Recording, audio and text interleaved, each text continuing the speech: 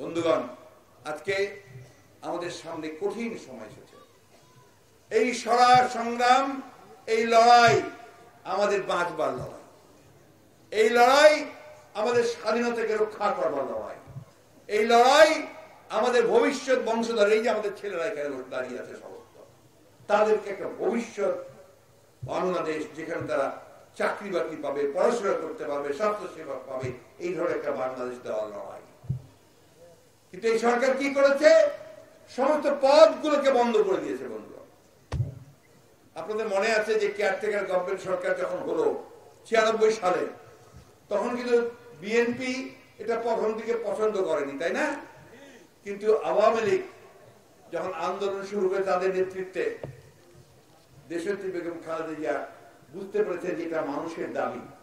অর্থাৎ যদি caretaker government election হয় নিরপেক্ষ সরকার অধীনে ইলেকশন হয়, তাহলে মানুষ তার ভোটটা দিতে পারবে ইচ্ছা মতো এবং সে তার প্রতিনিধি নির্বাচিত করতে পারবে, তাই না?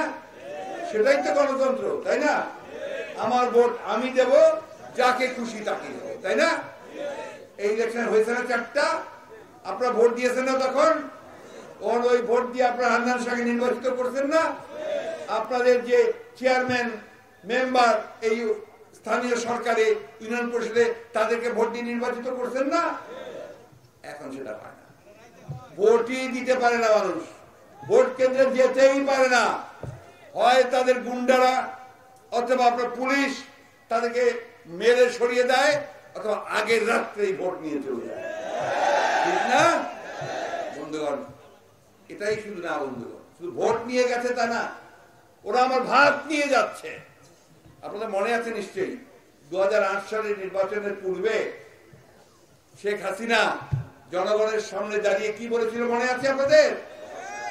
দশ টাকা কেজি চাল দেবে, তাই না?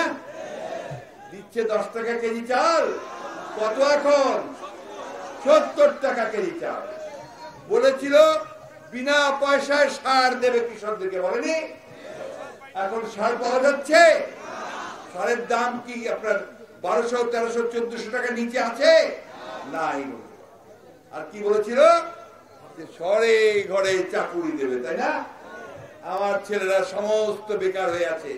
বিএ পাস করছে, এম পাস করছে, কোনো চাকরি নাই। কারণ চাকরির ব্যবস্থাই নাই। আর সেই সঙ্গে আপনার যে চাকরি হয়, যাদের হয়, ওদের আওয়ামী লীগের সিল লাগবে। এক নম্বর দুই নম্বর, বিশ লক্ষ টাকা লাগবে। তাছাড়া কোনো চাকরি হবে ঠিক না? এখানে স্কুল মাস্টারের চাকরি করতে গেলে বিশ লক্ষ টাকা লাগে। চৌকিদারের চাকরি পেতে গেলে তেরো লক্ষ টাকা লাগে। আর পুলিশের চাকরি করতে চাকরি পঁচিশ লক্ষ টাকা লাগে। এই হচ্ছে এই আওয়ামী লীগ বন্ধুগণ। বন্ধুগণ, আমরা আন্দোলনে আছি। কি আন্দোলন করছি আমরা এখন? জ্বালানি তেল পেট্রোলের দাম এক লাফে বাড়িয়ে দিয়েছে চুয়ান্ন পার্সেন্ট। ডিজেলের দাম বাড়িয়ে দিয়েছে, কেরোসিনের দাম বাড়িয়েছে। কেরোসিনটা আমরা ঘরে আমাদের বেশিরভাগ মানুষ, তারা কেরোসিন ব্যবহার করে না? কেরোসিনের দাম বেড়ে গেছে। এটা কমানোর জন্য আমরা আন্দোলন শুরু করেছিলাম। চালের দাম বেড়েছে, ডালের দাম বেড়েছে, সবজির দাম বেড়েছে, এটা জন্য আন্দোলন শুরু করেছিলাম। কি করেছে তারা? এই আন্দোলনকে দমন করবার জন্য বাইশে আগস্ট ভোলাতে গুলি করে আমার স্বেচ্ছাসেবক দলের নেতা আমার আব্দুল রহিম আর না, ছাত্র দলের নেতা নুরি আলমকে গুলি করে হত্যা করেছে শতাধিক ছেলেকে আহত করেছে এবং তারপর নারায়ণগঞ্জে আমাদের যুব দলের নেতা শাওনকে গুলি করে হত্যা করেছে, শতাধিক নেতা কর্মীকে আহত করেছে। এবং সব শেষ বসে আছে এখানে মুন্সিগঞ্জের সেক্রেটারি রতন সাহেব। তার জেলায়, উনি ওখানে ছিলেন, তার জেলায় গুলি করে হত্যা করেছে শহীদুল আলম শাওনকে বন্ধু এবং ওইখানে যে আহত করেছে, আমি নিজে গিয়েছিলাম দু, তিন দিন আগে, আমার সেই জাহাঙ্গীর ভাইকে দেখতে, ছোট ছেলে। তার চোখটা চলে গেছে, নাকটা চলে গেছে বন্ধুগণ আর আপনারা যদি সেই শাওনের ফুটফুটে বাচ্চার ছবিটা যদি দেখেন, আট মাস পত্র বয়স অল্প বয়সী মেয়ে তার স্ত্রী, কি অসহায়ের মতো তাকিয়ে আছে? এই সমস্ত পরিবারগুলোকে তার অসহায় করে দিয়েছে বন্ধুগণ।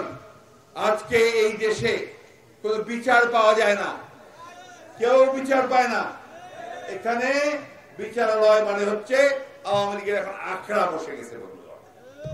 তারা সমস্ত বিরোধী দলকে কীভাবে আন্দোলন থেকে দূরে রাখবে, তাদের শাস্তি দেবে, এই চেষ্টা করছে। আজকে প্রশাসনের কাছে কোনো সদুত্তর পাওয়া যায় না। কেউ বিচার পায় না। আমরা পুলিশ আমাদের শত্রু নয়, পুলিশ আমাদের বন্ধু। পুলিশের দায়িত্ব হচ্ছে জনগণের যান মাল নিরাপদ দেওয়া, তাই না? চুরি, ডাকাতি বন্ধ করা, তাই তো? সময়টা কোথায় ভাই ওদের? ওদের তো সারাক্ষণ ব্যস্ত রাখছে যে কোথায় বিএনপি আছে, কোথায় বিরোধী দল আছে, তাদেরকে বলা ওদের তো অপরাধ না। অপরাধ হচ্ছে হাসিনার সরকারের যারা তাদেরকে অন্যায় আদেশ দিয়ে আজকে এই গুলি করতে বাধ্য করে, অপর অত্যাচার করতে বাধ্য করে।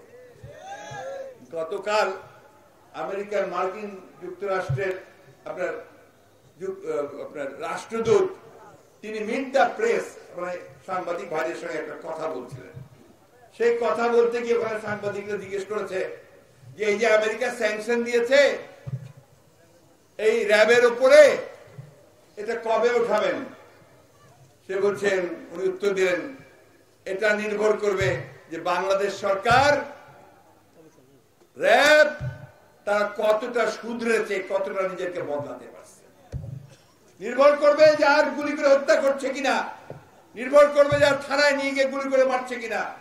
বিনা বিচারে তাদেরকে আটক অবস্থায় গুলি করে হত্যা করা হচ্ছে কিনা, তার উপরে বন্ধুগণ। সুতরাং গোটা পৃথিবী এখন জানে যে বাংলাদেশে মানবাধিকার নাই। বাংলাদেশে আইনের শাসন নাই।